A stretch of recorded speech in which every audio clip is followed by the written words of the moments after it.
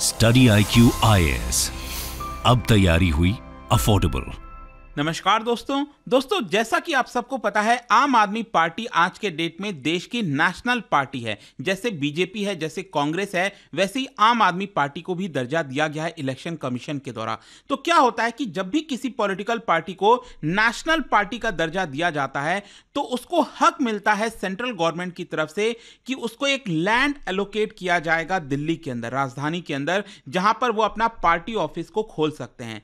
तो क्या हुआ है कि इस समय प्रेजेंट में अगर आप देखेंगे आम आदमी पार्टी का जो हेडक्वार्टर है जहाँ पर, मैं अभी आपको सब कुछ मैप में दिखाऊँगा, वो बीजेपी के ऑफ़िस के जस्ट पास में ही है।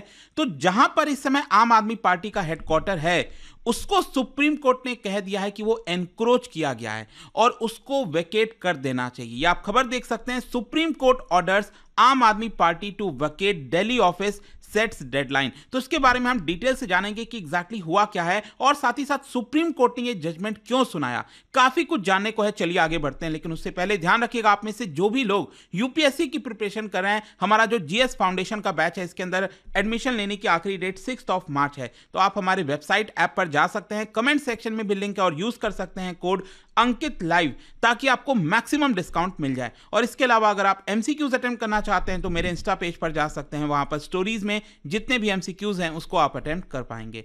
चलिए शुरुआत करते हैं और सबसे पहले ये देखते हैं कि एग्जैक्टली अभी हुआ क्या है।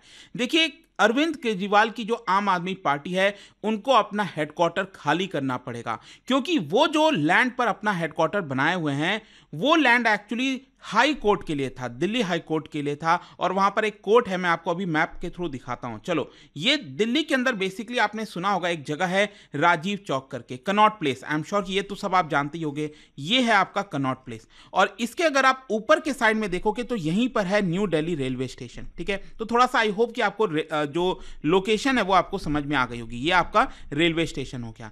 तो यहाँ पर आप ध्यान से देखिए कनॉट प्लेस के जस्ट पास में ही ये आपको जो रोड दिख रहा है ना, ये है आपका राउज एवेन्यू मार्ग और जिसको नया जो नाम दिया गया है वो है आपका पंडित दीनदयाल उपाध्याय मार्ग, ठीक है? तो यहाँ पर अगर आप ध्यान से देखेंगे, इसी इसी रोड पर भारतीय जनता पार्टी का ऑफ़िस भी है। और ये भी नया ऑफ़िस बनाया गया था। अक्सर आप देखते होंगे, पीएम मोदी जब भी कोई इलेक्शंस वगैरह हुआ या फिर कोई गतिविधि होती है तो वो पार्टी हेडक्वार्टर जाते हैं। तो वो यहीं पर जाते हैं। ये आपका भारतीय जनता पार्टी का ऑफ़िस है। और उसके जस्ट पास में ही यहाँ पर अगर आप देखिए तो ये आपको देखने को मिलेगा आम आदमी पार्टी का ऑफ़िस। यहीं पर है। ये आम आदमी पार्टी का ऑफ़िस, ये इधर आपको देखने को मिल रहा है। लेकिन उसके जस्ट बगल में अगर आप ध्यान से देखेंगे तो यहाँ पर आपको दिख रहा होगा Rouse Avenue district court complex ठीक है? तो ये सारा विवाद इसी की वजह से है कि यहाँ पर जो लैंड है, वो आपका दिल्ली हाई कोर्ट का था और इसके तहत ये जो राउज एवेन्यू कोर्ट है, इसको एक्सपैंड किया जाना था।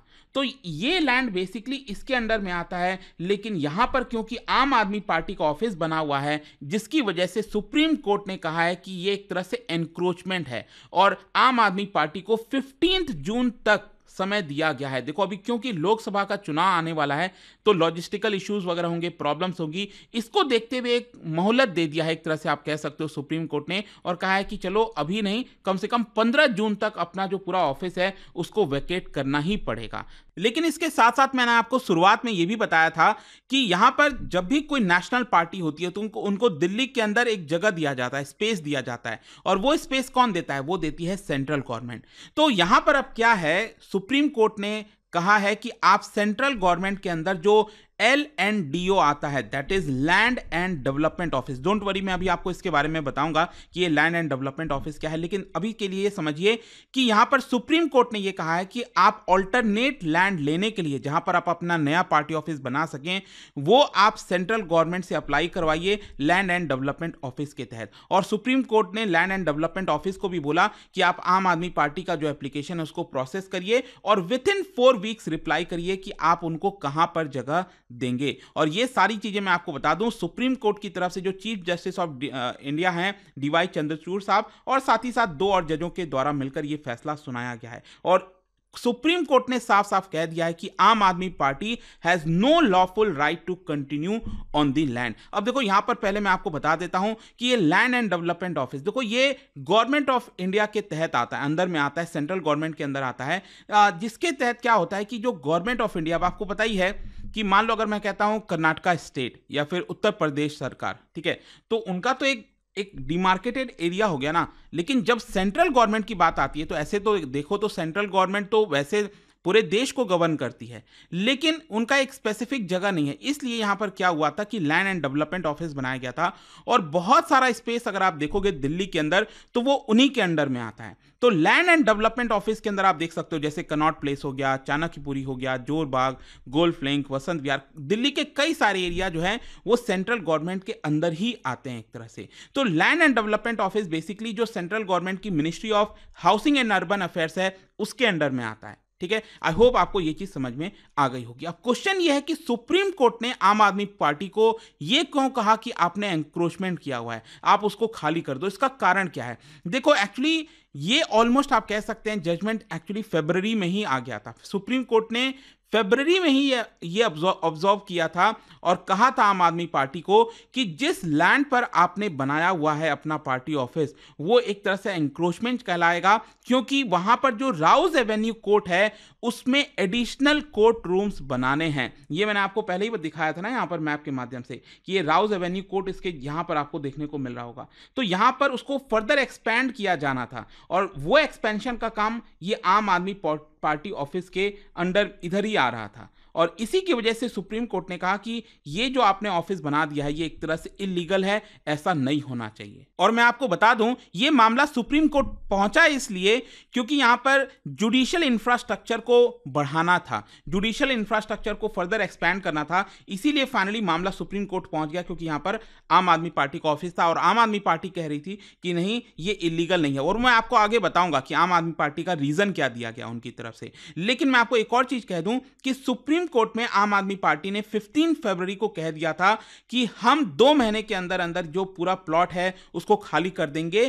Provided an alternative plot was given मतलब आम आदमी पार्टी ये कह रही थी कि हम दो महीने के अंदर खाली कर देंगे, लेकिन हमें एक ऑल्टरनेटिव लैंड होना चाहिए हमारे पास। लेकिन क्या होता है फिफ्टीन फरवरी के बाद से चीज़ें मूव नहीं करती हैं। और इसी की वजह से जो सुप्रीम कोर्ट के जजेस हैं उनको काफ़ी कल गुस्सा आ गया। और जो chief justice of India DY Chandrachud ji हैं उन्होंने कहा no one can take the law into their own hands how can any political party sit on it मतलब कि कैसे आम आदमी पार्टी आ, कानून को अपने हाथ में ले सकती है? और साथ ही साथ सुप्रीम कोर्ट की तरफ़ से बोला गया all encroachments will be removed and high court should be given possession मतलब उस लैंड का जो पोजीशन है पोजेशन है सॉरी वो आपका दिल्ली हाईकोर्ट के अंडर में दे देना पड़ेगा। खैर, अब क्वेश्चन ये है कि आम आदमी पार्टी का आर्ग्यूमेंट क्या था? आम आदमी पार्टी क्या कह रही थी?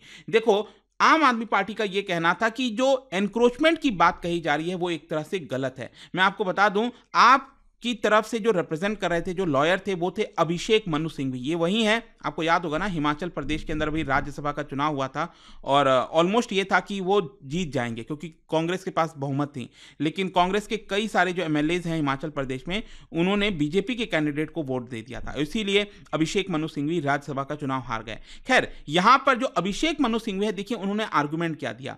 उन्होंने कहा कि 1993 से 2015 के बीच में ये जो लैंड की बात कही जा रही है जहाँ पर आम आदमी पार्टी का ऑफ़िस है ये पहले दिल्ली सरकार के अंडर में आता था। और ये ये लैंड किसने दिया था? ये एक्चुअली सेंट्रल गवर्नमेंट ने ही दिया था दिल्ली सरकार को। तो ये वाला जो लैंड है वो एक्चुअली दिल्ली सरकार के अंडर में आता है। फिर 2015 में दिल्ली सरकार ने क्या किया? ये लैंड को आ, आम आदमी पार्टी को एलोकेट कर दिया। आ रहा है समझ में। तो यहाँ पर एक्चुअली इशू यही हो गया कि दिल्ली सरकार ने खुद से ही, अब ऑब्वियसली बात है, दिल्ली सरकार किसकी है इस समय? आम आदमी पार्टी की है। ठीक है आम आदमी पार्टी उसको चला रही है।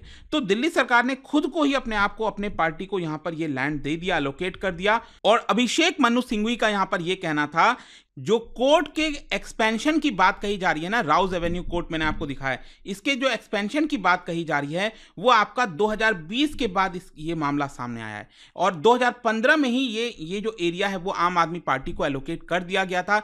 इसलिए यहाँ पर ये गलत नहीं है, ये इंक्रोचमेंट नहीं है। और साथ ही साथ आम आदमी पार्टी का कहना था कि देखिए, हम भी भारत में इस समय छह नेशनल पार्टीज़ के अंदर में आते हैं।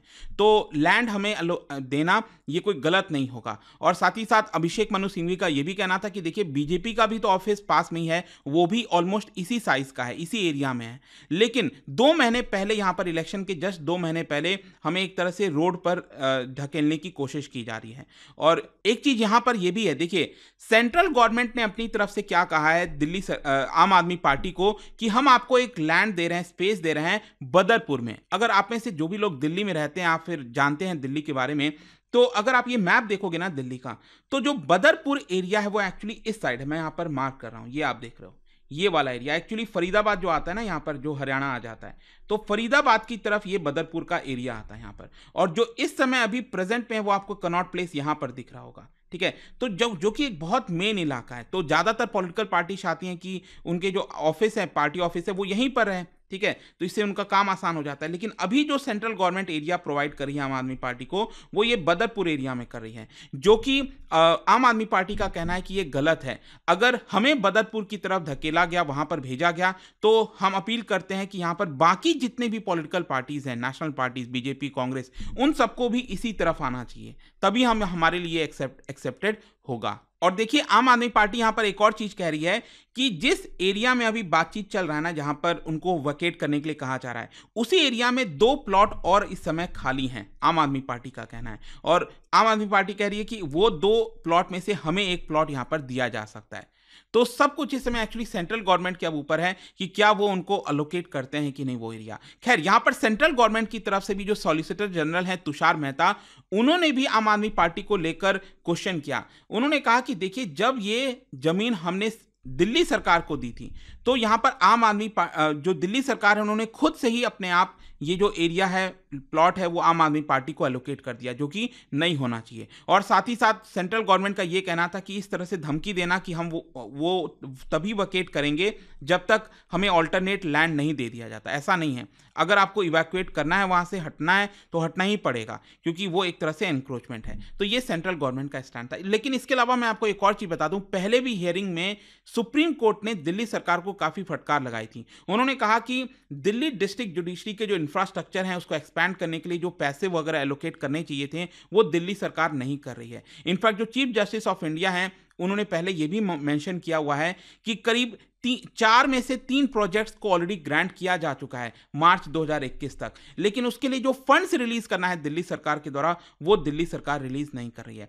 तो ये भी एक तरह से आरोप लगाया गया है। खैर फाइनली यहाँ पर जब ये कल सुप्रीम कोर्ट का जजमेंट आया और कहा गया कि दिल्ली सरकार को हटना ही पड़ेगा no matter what fifteen of June तक तो यहाँ पर आम आदमी पार्टी ने सॉरी आम आदमी पार्टी के ऑफ़िस को हटना पड़ेगा। तो आम आदमी पार्टी ने इसका स्वागत किया, लेकिन साथ ही साथ ये भी कहा कि वी होप कि बीजेपी जो है किसी प्रकार की डिस्क्रिमिनेटरी पॉलिटिक्स नहीं करेगी डर्टी पॉलिटिक्स नहीं करेगी, और हमें भी उसी एरिया में यहाँ पर जो प्लॉट है, वो देगी। तो अब देखते हैं सेंट्रल गवर्नमेंट अल्टीमेटली क्या करती है? क्या उनको वापस से बदरपुर वाला ही एरिया दे देती है या फिर वहाँ का एरिया देती है? देखने वाली बात होगी।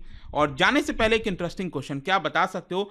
देश में इनमें से कौन से राज्य में उनका खुद का हाईकोर्ट नहीं है? ठीक है, ये आपको बताना है। इन चार राज्यों में से। इसका राइट आंसर आप सबको पता है, मेरे इंस्टाग्राम पर तो मिलेगा ही। वहाँ पर अगर आप नहीं हो, कोई बात नहीं टेलीग्राम से ले सकते हैं इसका सही उत्तर। मैं कई सारे जो एम हैं, वो यहाँ पर स्टोरीज में डालता रहता हूँ। अगर आपको पी चाहिए तो टेलीग्राम पर आइए अलग अलग सोशल मीडिया पर आप जुड़ पाओगे। और जैसा मैंने आपको बताया, अगर आप यूपीएससी की तैयारी करें कोई भी बैच चाहते हैं स्टडी आई पर you can just use this code Ankit live ताकि आपको मैक्सिमम डिस्काउंट मिल जाए। आई होप की वीडियो आपको पसंद आया होगा। मिलता हूँ आपसे next time till then thank you very much see you soon Study I Q I अब तैयारी हुई अफोर्डेबल